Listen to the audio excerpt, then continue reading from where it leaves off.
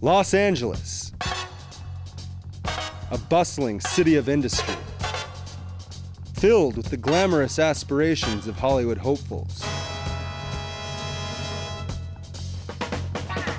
And the nonstop tension of gridiron traffic.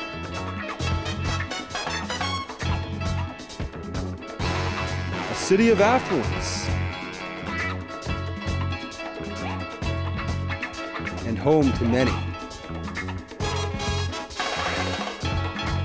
But on the fringe of this jumbled chaos lies a small community, a place known to its inhabitants simply as the jungle.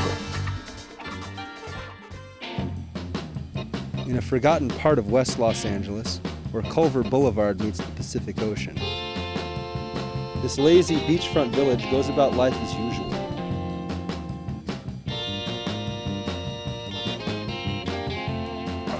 Great. It's awesome. It's just a really cool community down here. Yeah, it's pretty cool. the best place in Los Angeles to be. I think it's it's the best place I've ever lived. And uh, Yeah, same here. it's up to me. I'd stay here for a really long time. Basically, the 100%. jungle is just a really cool place to live.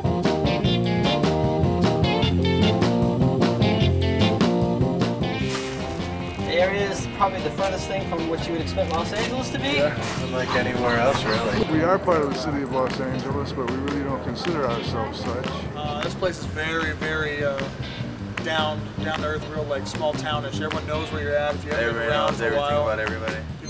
It's an island within a city. It's a wonderful, still small-time neighborhood. When you're here, you feel like you're out of the city.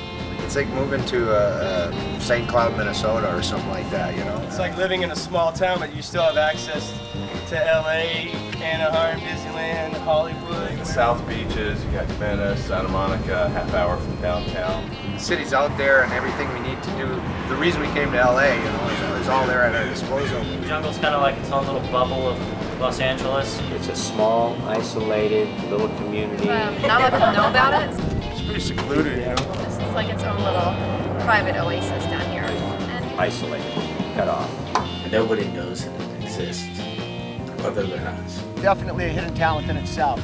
a secret. The jungle is composed of four streets Sunridge, Rees, Fowling, and Montreal. They are not streets per se, but alleyways. A place as unusual in its construction as in its mindset.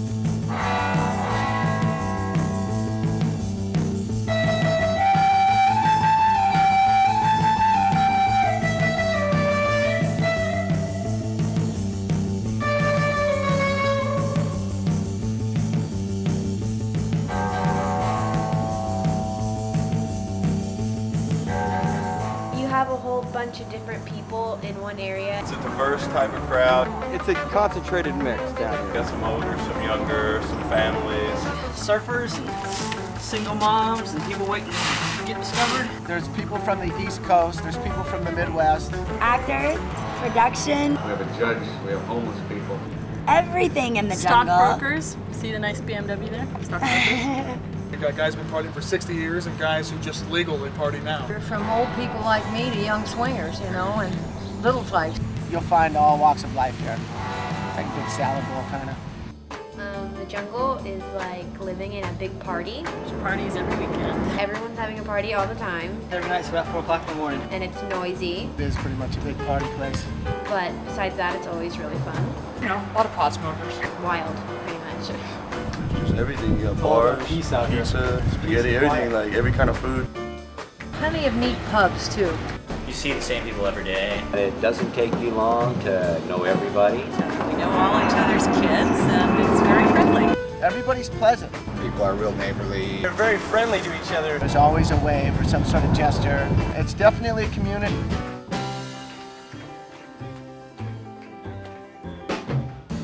A little bit afraid of the planes, but after a while, you don't really hear them anymore. What plane? Oh, there's a plane going by.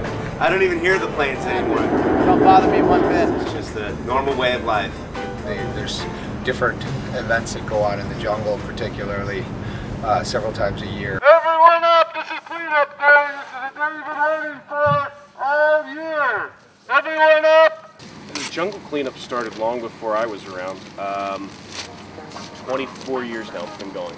The city of LA started helping us seven or eight years ago. Um, and our role in this whole cleanup effort is basically to uh, bring out all the tools and equipment that the groups need, the, all the brooms and the shovels that they'll be using, the trash bags. There's lots of turnover in uh, the jungle here, so there's lots of crap that piles up. It's a transit neighborhood. People leave mattresses when they move on, trash when they move on. Free t-shirts, coffee, and you get to uh, make a big pile of junk. Rise and shine.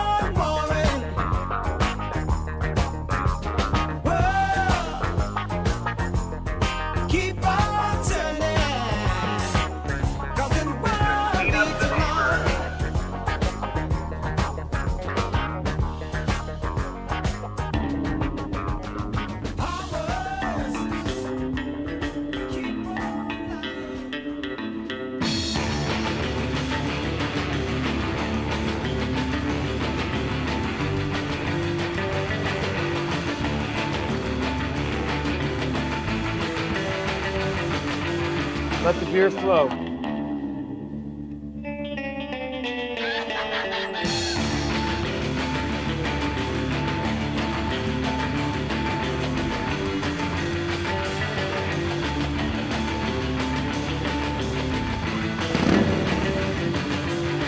Someone came right in my window and started yelling with a blow horn.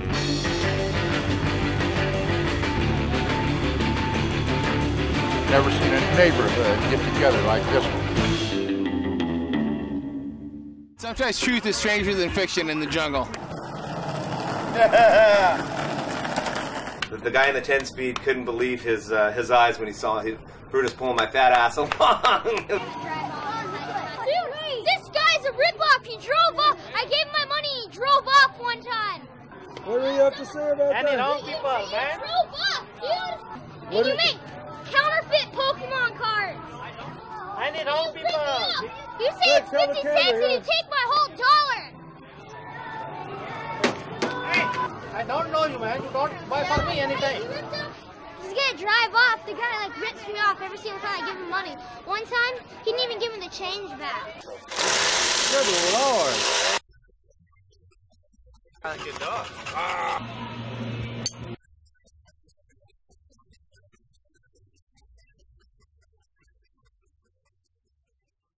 When all is said and done, it cannot be argued that the jungle is by any means an ordinary place.